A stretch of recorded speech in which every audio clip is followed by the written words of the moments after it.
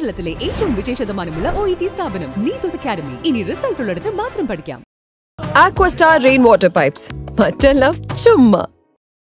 ചേട്ടൻ ഒരു ബാംഗ്ലൂർ യൂണിവേഴ്സ് ഉണ്ടാക്കി എടുക്കാൻ വല്ല ഉദ്ദേശം ഉണ്ടോ ഇപ്പൊ ഒരുപാട് യൂണിവേഴ്സ് ഇവിടെ കിടന്ന് കറങ്ങുന്നുണ്ട്. അതുകൊണ്ട് പുതിയൊരു യൂണിവേഴ്സും കൂടെ അതിനകത്ത് കൊണ്ട് ഇടുന്നില്ല.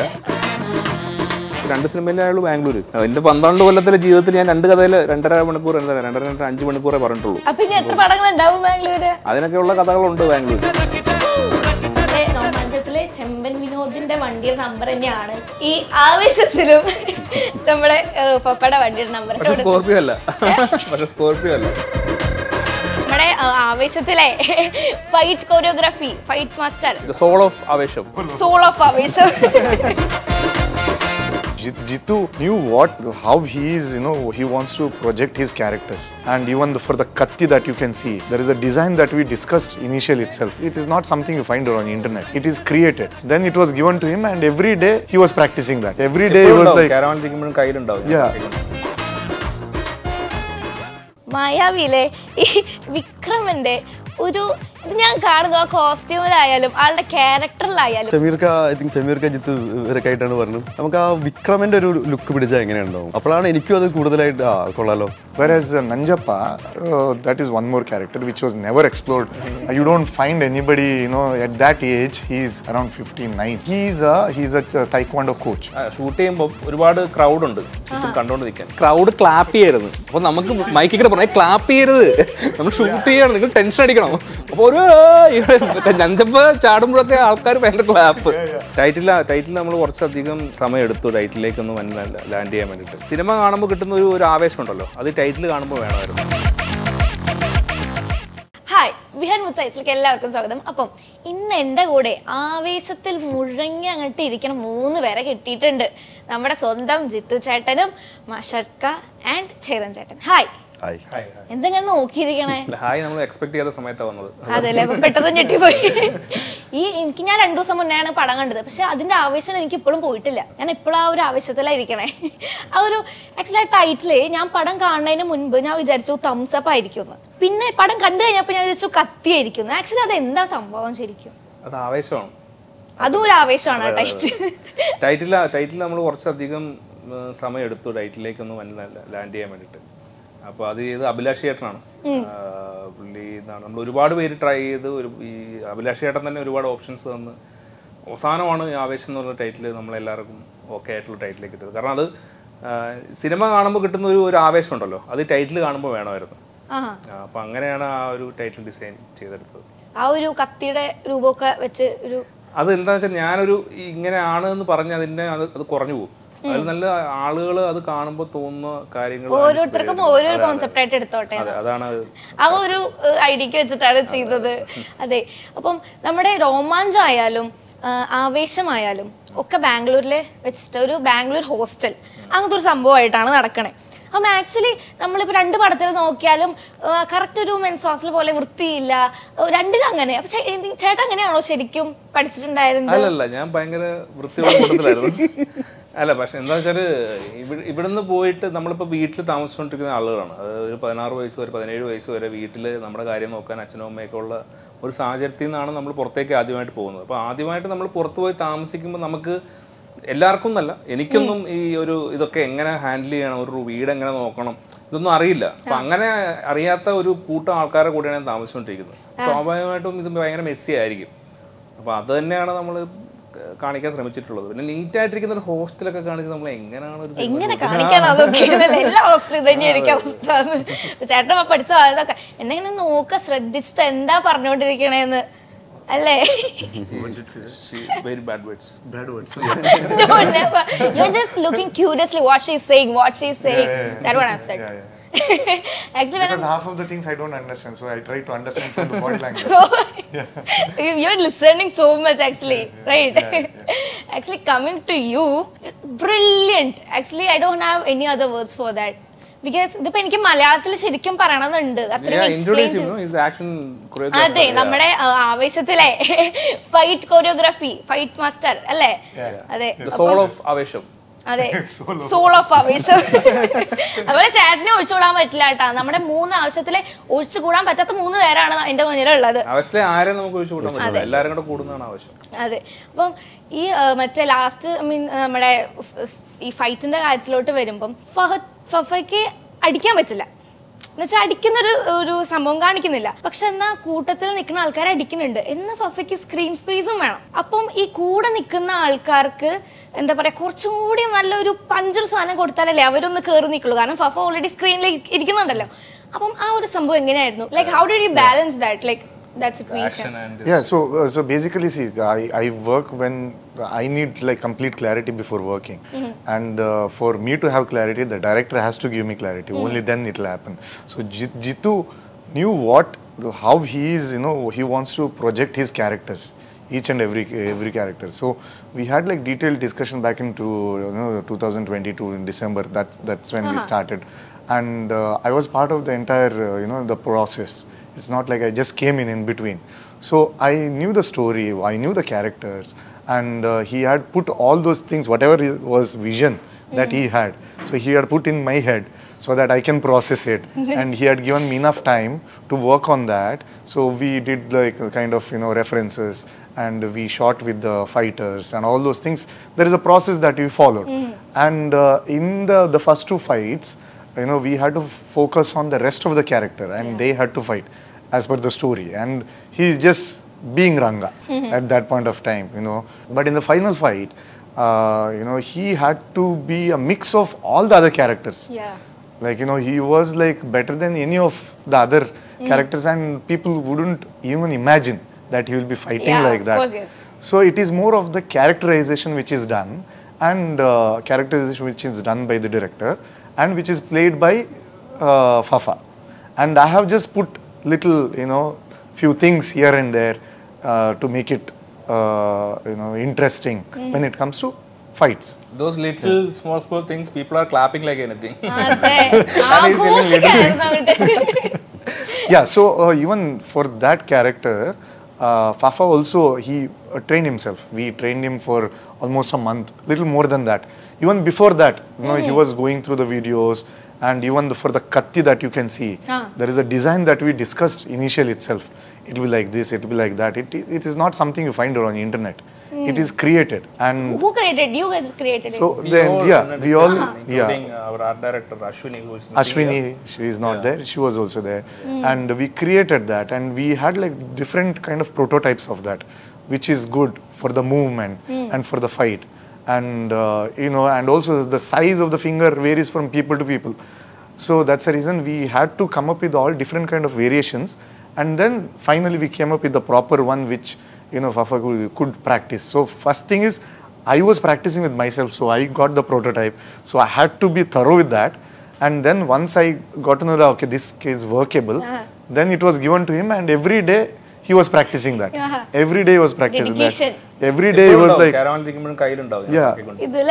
Even while giving the dialogues and everything, like you know, practicing was doing that. Mm -hmm. And punches, he was practicing here and there, and he was come up, coming up with ideas. Like we had like we had planned.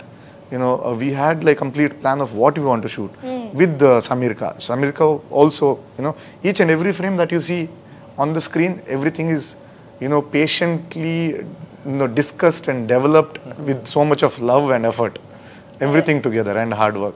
And uh, you know, uh, for that to happen, even Fafa had put like you know every time when there is something, he was saying, okay, how about this? How about this?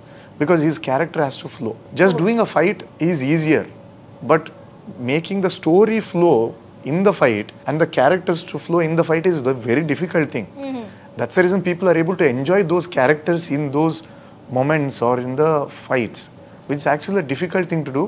But it was written brilliantly by him, and it's a re- that's the reason it is flowing throughout. So it is smooth when you watch. അതെ ഇപ്പം ജിതേട്ടനായാലും ഇപ്പം ആ, ഇപ്പൊ Faf എന്താ പറയാ ഇടിക്കുന്നില്ല ഫസ്റ്റിലൊന്നും ഇടിക്കുന്നില്ല.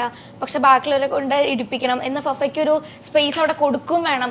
അത് എങ്ങനെ balance ചെയ്ത് പോകുന്നുണ്ടായിരുന്നത് അല്ല ഇത് നമുക്കിപ്പോൾ ഈ പറഞ്ഞ കാര്യം നമുക്കറിയാം. അതായത് ഇങ്ങനെ ആക്ഷന് ഭയങ്കര ഇമ്പോർട്ടൻസ് ഉണ്ട്. അതിനിടയ്ക്ക് ഈ ആക്ഷൻ ഇടയ്ക്കും ഫഫയുടെ ക്യാരക്ടർ ഡൗൺ ആവാൻ പാടില്ല. ഫഫ തന്നെ നിൽക്കണം അതായത് രംഗയിലാണ് നമ്മൾ ഊന്നി നിൽക്കേണ്ടത്. അപ്പോൾ ആ രംഗയുടെ ക്യാരക്ടർ പുള്ളി അത് ഹോൾഡ് ചെയ്തു എന്നുള്ളതാണ്. ഇപ്പോൾ പറഞ്ഞ പോലെ എങ്ങനെ ഇൻക്ലൂഡ് ചെയ്യണം എന്നുള്ളത് നമ്മൾ അത്രയും പ്ലാൻ ചെയ്തിട്ട് തന്നെ എക്സിക്യൂട്ട് ചെയ്തിട്ടുള്ളതാണ്. ഈ ഫൈറ്റിനിടയ്ക്ക് എവിടെയൊക്കെ പ്ലേസ് ചെയ്യാൻ പറ്റും.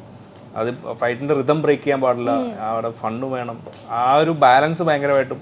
അപ്പോൾ ഈ ഒരു ബാലൻസ് നമുക്ക് സിനിമയുടെ എല്ലാ സൈഡിലും കഷ്ടപ്പെട്ട് തന്നെയാണ് കൊണ്ടുവന്നിട്ടുള്ളത്. കാരണം വെച്ചാൽ ഇതിന്റെ എഡിറ്റർ എഡിറ്റ് ചെയ്യുമ്പോൾ പോലും ഒരു ഒരു ഫ്ലോയ്ക്ക് ഇടയ്ക്ക് ഭയങ്കര ടോട്ടലി ഡിഫറെന്റ് സംഭവങ്ങളാണ് ഇത് നടക്കുന്നത്. ഫഫയുടെ ആക്ട് ഫൈറ്റ് എന്ന് പറയുന്നത് ടോട്ടലി രണ്ട് ഡിഫറെന്റ് സംഭവങ്ങളാണ്. അതിനെ കറക്റ്റായിട്ട് വന്ന് ലാൻഡ് ചെയ്തിട്ടില്ലെങ്കിൽ ഭയങ്കര എന്താ പറയുക ആ ഒരു ഫ്ലോ മിസ്സായ പോലെ ഫീൽ ചെയ്യും. അപ്പോൾ അതുകൊണ്ടാവും മ്യൂസിക് ചെയ്യുമ്പോൾ ചലഞ്ചായിരുന്നു സുഷിന് ഭയങ്കര ചലഞ്ചായിരുന്നു അത്.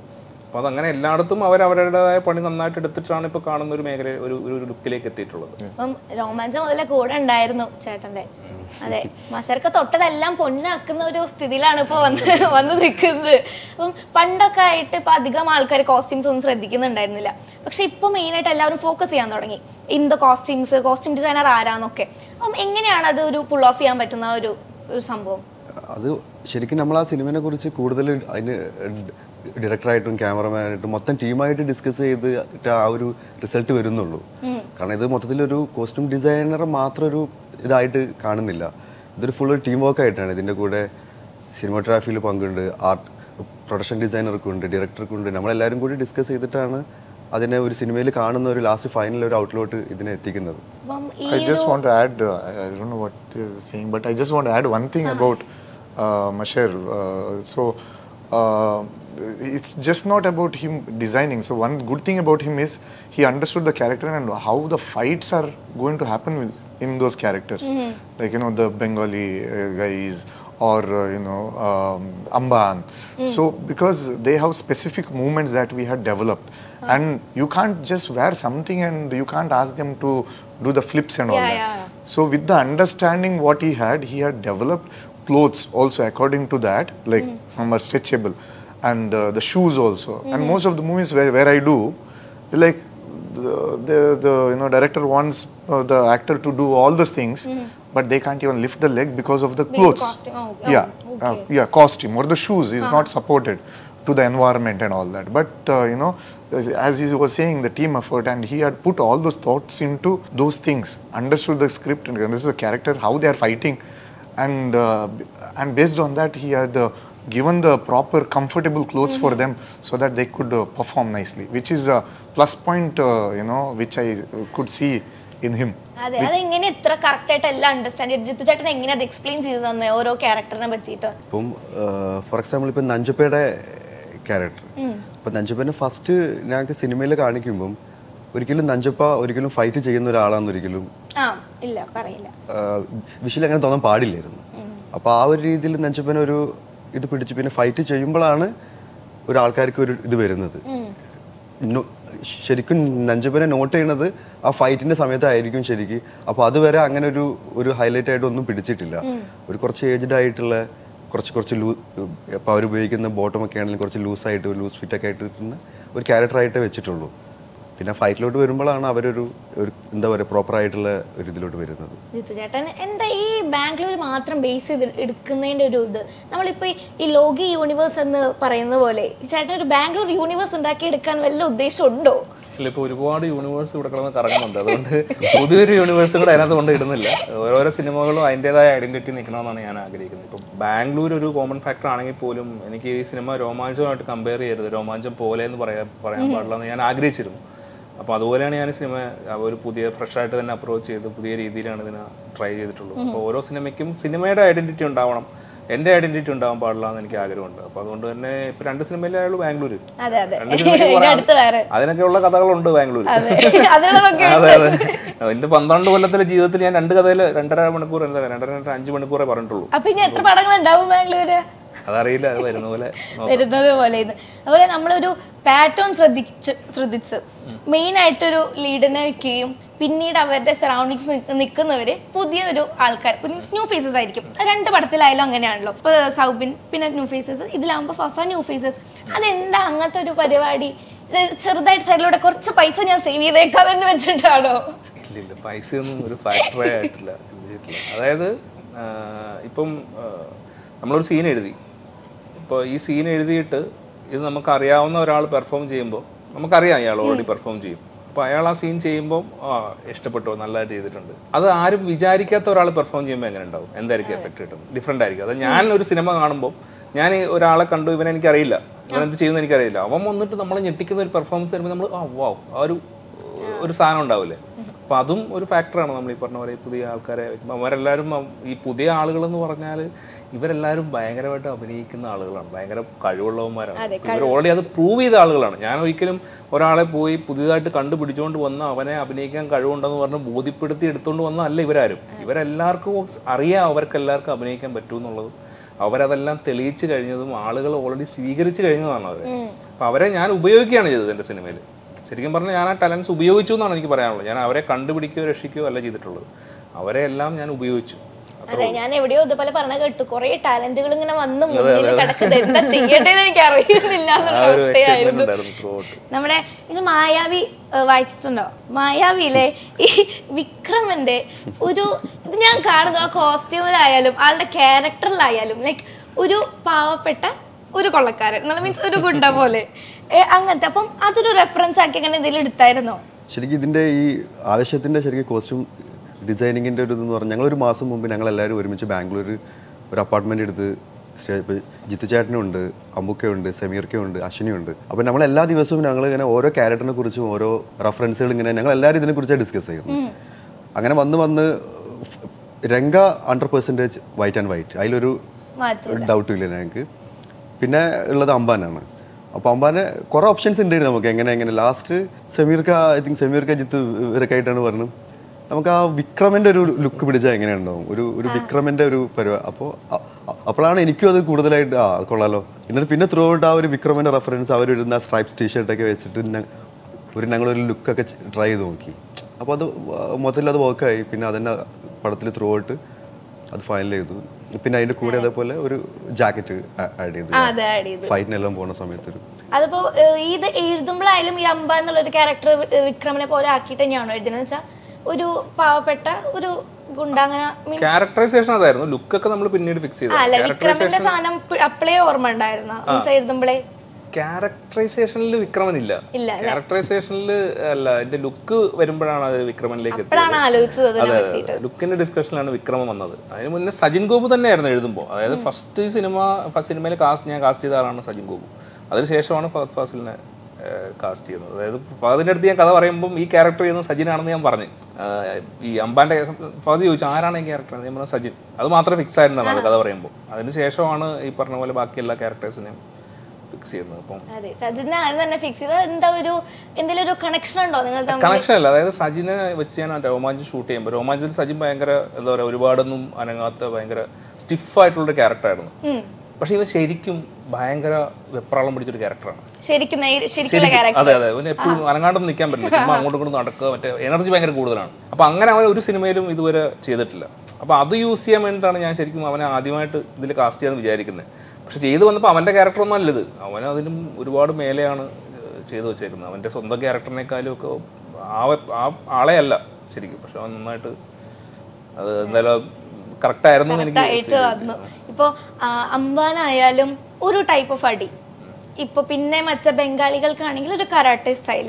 അപ്പൊ നമ്മുടെ നഞ്ചപ്പനാണെങ്കിൽ വേറൊരു സ്റ്റൈൽ. രംഗയ്ക്ക് ഇതെല്ലാം കൂടിയിട്ടുള്ള ഒരു style. Own Yeah, own, own style, own style. അതൊക്കെ ഇങ്ങനെ കൊണ്ടുപോകാൻ പറ്റി കറക്റ്റ് ആയിട്ട് so basically when when when we were discussing initially and everything, he had the idea of that. Okay, but we had to sit and develop how what is the differentiation that we are going to give to each and every character. Like you know, Amban, because he's he's like hefty and he's big, so he can't just do jumps and all that. It doesn't look for that stature. Yeah. So he should be like you know lifting and throwing and you know like a wrestler, full power. Like whereas these uh, Bengali fighters are like swift, like, like fast. Uh, they can like like run like that. They can jump like that and flip like that. Okay. So what we uh, you know in, uh, there is something called uh, parkour. There is something called free running. There is something called martial arts tricking. These are like very new kind of forms, okay, which are not much explored. You can see those people doing flips and everything on reels, Instagram reels and all that Yeah. which personally I used to do, like you know, I used to practice and all that, and I wanted to put that style somewhere. And luckily, you know, in his characterization, I got a chance to get these guys, and we actually I, we had to go through, you know, Instagram and find few guys, and we had like a couple of guys which he did not like because the characterization did not, uh, you know, demand those things. Then finally, we found the, these two guys, which they also have a distinct kind of uh, style. One guy is very good with flips, like in gymnastics. One guy is very good with kicks. So while uh, you know we mix that together in the fight. Whereas uh, Nanjappa, uh, that is one more character which was never explored. Uh, you don't find anybody, you know, at that age, he is around 59. Uh, and doing... Actually, he's really a fighting... He's a, he's a uh, taekwondo coach. Uh -huh. Yeah, and he, he, had never faced a camera before. The first time in his entire life he is facing camera and uh, doing such kind of things. And also on top of that, he had a back pain also. But instead of all, the, irrespective of all that, he could do all the things that you have seen without the ropes. And he had like so much of energy. All the style that you see is because of his, uh, I think, tw- 30 years of experience that he has. 40 years. 40 years of experience that he has. And uh, that we did not have to develop much because he had developed himself. We just have to put, make it a part of our uh, ഞാൻ thing. വയൽ shooting shoot ചെയ്യുമ്പോൾ നമ്മൾ actually ഒരുപാട് crowd ഉണ്ട് ചുറ്റും കണ്ടോണ്ടിരിക്കാൻ ഈ crowd clap ചെയ്യരുത് അപ്പൊ നമുക്ക് മൈക്കിൽ പറയാം ക്ലാപ്പ് ചെയ്യരുത്. ഷൂട്ട് ചെയ്യരുത് ടെൻഷൻ അടിക്കണം. ഒരു ചന്തപ്പ് ചാടുമ്പോഴൊക്കെ ആൾക്കാർ ഭയങ്കര ക്ലാപ്പ് നല്ല നന്നായിട്ട് ജമ്പ് ചെയ്ത് ഷോട്ട് കിട്ടി. ഷോട്ട് കിട്ടിയപ്പോ വീണ്ടും വീണ്ടും എടുക്കണം. കാരണം ബാക്കി നിൽക്കുന്ന ഒരു ക്ലാപ്പ് അതുകൊണ്ടാണ്? പിന്നെ ചാടിയപ്പോ ഹൈറ്റ് കുറഞ്ഞു പോയോ? ഇല്ല. പപ്പ പറയില്ല ഹൈറ്റ് കുറവാണല്ലോ. അതൊരു സർക്കാർ and coming to Fafa we Fafa, to develop a very di- different kind of style. Uh, like, you know, one is a mix of everything that they have done, but at the same time, Ranga, what suits him? Like, you know, the way he, it's a mix of more of like, you know, kind of martial arts, kind of little local, kind of little, uh, you know, kind of those very stylized kind of movements. Fast. Very fast, very swift. Uh, because the, because he is lean and he can be fast. He can cannot be like you know you can't lift and throw and everything. It doesn't look.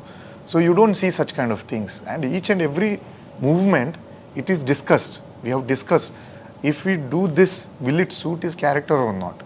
So we had shot all the fights before, and uh, you know we have we have we had we have discussed gone through the references we have shot and we have reshot that okay we have deleted we have again we shot not in the shooting but before that rehearsal so i have a gym called chaos factory in chaos uh, uh, bangalore. So in the gym itself i get all got my all my boys and all you know artists as well and we had shot that before. And uh, you know uh, uh, till the last day of the shoot we are still exploring things you know making it better and better and better till the last day. So that's how uh, finally we came up with this style whatever that you see. But you know what the the the, the most difficult thing what we had is uh, we shot the first fight holy fight the interval block. Hmm. That that fight came out so good more than what we thought. And because of that the climax we had to make it even better than that. So we had to go back and rework on everything. Uh. We had plans but the pressure what was there because of that fight came up so good. And ranga has to outsmart and should look better than all these guys so that was the challenge that we had. Like too much challenge. നമ്മുടെ രോമാഞ്ചത്തിലെ ചെമ്പൻ വിനോദിന്റെ വണ്ടിയുടെ number തന്നെയാണ്. ഈ ആവേശത്തിലും നമ്മുടെ പപ്പയുടെ വണ്ടിയുടെ number അത് രണ്ട് അറിഞ്ഞോണ്ടിട്ട് തന്നെയല്ലേ? വെറുതെ എന്തെങ്കിലുമൊക്കെ സംസാരിക്കാൻ വേണ്ടിട്ട് അതെന്നെ. ആൾക്കാർ ഇതിനെ പറ്റി എന്തെങ്കിലും സംസാരിക്കട്ടെ സ്കോർപ്പിയോ അല്ല. പക്ഷെ സ്കോർപിയോ അല്ല. സ്കോർപിയോ അല്ല. അതാണ് ഡയറക്ടർ ഡയറക്ടറിന്റെ ബ്രില്യൻസ് ആണ് നമുക്ക് ഇവിടെ കാണുന്നത്. വെറുതെ. വെറുതെ ചുമ്മാ അത്. ഓക്കെ വണ്ടി നമ്പർ എന്തിടണം ചോദിച്ചപ്പോ ഒരു ഫ്ലോയ്ക്ക് അങ്ങ് പറഞ്ഞതാണ് അങ്ങനെ. പിന്നെ ഈ ഒരു പടത്തിലെ ഒഴിച്ചു കൂടാൻ പറ്റാത്തതാണ് സുഷിനും വിനായകട്ടും സുഷിനും നമുക്ക് ഒഴിച്ചു കൂടാൻ പറ്റില്ല ഈ മൂവിയിൽ അപ്പം അവർ ചെയ്ത ആ ഇലിമിനാറ്റി പാട്ട് വൻ സംഭവമായിരുന്നു. അതായത് ഞാൻ വിനായകനോട് പേഴ്സണലി പറഞ്ഞിട്ടുള്ള കാര്യമാണ്. അതായത് വിനായക എഴുതിയ വരികൾ എനിക്ക് എന്റെ സ്ക്രിപ്റ്റിലെ ഡയലോഗ്സിനേക്കാൾ ഇഷ്ടമാണ്. അങ്ങനെ എഴുതിയിട്ടുണ്ട് സിനിമയ്ക്കകത്ത്. അതായത് ഇതിനകത്തെ ഉപയോഗിച്ചതും ഉപയോഗിക്കാത്തതുമായിട്ടുള്ള വരികളെല്ലാം കൂട്ടിയാൽ ഒരു ഇത്ര ഉള്ളൊരു സമാഹാരം ഉണ്ടാക്കാനുള്ള വരികൾ അവൻ എഴുതിയിട്ടുണ്ട് അവിടെ ചെന്നിട്ട്. അതും സിനിമയ്ക്കകത്ത് ഓരോ സീനിലും അവൻ കഥ പറഞ്ഞിട്ടുണ്ട്. ഭയങ്കര ബ്രില്യന്റ് ആയിട്ട്. അപ്പോൾ അതെനിക്ക് ഭയങ്കര വിനായകനെ എനിക്ക് ഭയങ്കര ഞാൻ വിനായകന്റെ കൂടെ മാത്രമേ വർക്ക് ചെയ്തിട്ടുള്ളൂ രോമാഞ്ചത്തിലും ഇതിലും ആ, പിന്നെ ഈ പറഞ്ഞ പോലെ റാപ്പേഴ്സ് ആണ് പിന്നെ നമ്മൾ കുറച്ച് പേര് ഉണ്ടായിരുന്നത്. അതെ ആ പാട്ട് നമ്മൾ ഭയങ്കരമായിട്ട് എൻജോയ് ചെയ്ത് തുള്ളി ചാടി ഒരു പാട്ട് അത് എന്തുകൊണ്ട് പടത്തിൽ ഇൻക്ലൂഡ് ചെയ്തില്ല? പടത്തിലില്ലേ? പക്ഷേ പേര് എഴുതി കാണിക്കുമ്പോഴല്ലേ ആ പാട്ട് വരുന്നത് അല്ല ക്ലൈമാക്സിൽ ടൈറ്റിലിന് മുന്നേ ഒരു സംഭവം വരുമല്ലോ. അതിനെ എലിവേറ്റ് ചെയ്യാൻ ആ സോങ്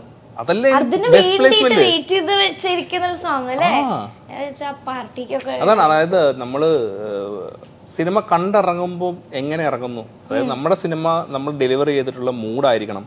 ഇത് കണ്ടിറങ്ങുമ്പോൾ ആൾക്കാർക്ക് വേണ്ടത്. അപ്പൊ അതിന് ഇലുമിനാറ്റി കൂടുതൽ വേറൊന്നും ഇല്ല ഈ ഇത് കണ്ടിട്ട് പടം അവസാനിച്ചതിന് ശേഷം എന്റെ ഫ്രണ്ട്സെ കുറിച്ച് പറഞ്ഞു പോയി മസ്റ്റ് ആയിട്ട് കാണേണ്ട പടമാണ്. തിയേറ്ററിൽ പടം കഴിഞ്ഞപ്പോൾ ഞാൻ ഡാൻസ് കളിക്കായിരുന്നു അത്രയും ഈ ഒരു ഈ ഒരു വർഷത്തെ ബെസ്റ്റ് പടം. അത് ഞാനും സമ്മതിക്കണം കേട്ടോ. ഈ അടുത്ത് എനിക്ക് ഞാൻ കണ്ടതിൽ ഏറ്റവും ബെസ്റ്റ് പടമായിട്ടാണ് എനിക്ക് തോന്നിയത്. അപ്പം എന്തായാലും കുറെ വിശേഷങ്ങൾ നമ്മൾ അറിഞ്ഞു. അപ്പം എന്താ? ഹാപ്പി അല്ലേ? ഹാപ്പിയാണ് ഓക്കെ അപ്പൊ എന്തായാലും താങ്ക് യു സോ മച്ച് ഇത്രയും നേരം സംസാരിച്ചതിൽ ചേട്ടാ. കേരളത്തിലെ ഏറ്റവും വിജയശതമാനമുള്ള ഒ ഇ ടി സ്ഥാപനം നീതോസ് അക്കാദമി ഇനി റിസൾട്ട് ഉള്ളിടത്ത് മാത്രം പഠിക്കാം. ആക്വസ്റ്റാർ റെയിൻ വാട്ടർ പൈപ്സ് മറ്റെല്ലാം ചുമ്മാ.